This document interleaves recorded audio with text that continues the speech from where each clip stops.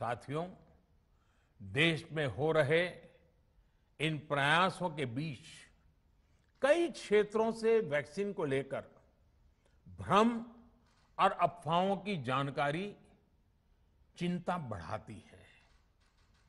ये चिंता भी मैं आपके सामने व्यक्त करना चाहता हूँ।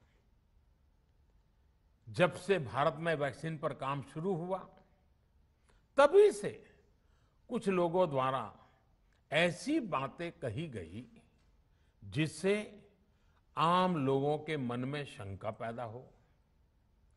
कोशिश ये भी हुई कि भारत के वैक्सीन निर्माताओं का हौसला पस्त पड़ जाए और उनके सामने अनेक प्रकार की बाधाएँ आए।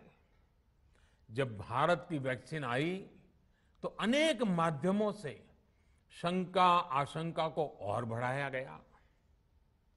वैक्सीन न लगवाने के लिए भांति भांति के तर्क प्रचारित किए गए। इन्हें भी देश देख रहा है। जो लोग वैक्सीन को लेकर आशंका पैदा कर रहे हैं, अफवाहें फैला रहे हैं, वो भोले भाले भाई बहनों के जीवन के साथ बहुत बड़ा खिलवाड़ कर रहे हैं। ऐसी अफवाहों से सतर्क रहने की ज़रूरत है। मैं भी आप सबसे समाज के प्रबुद्ध लोगों से, युवाओं से अनुरोध करता हूँ कि आप भी वैक्सीन को लेकर जागरूकता बढ़ाने में सहयोग करें।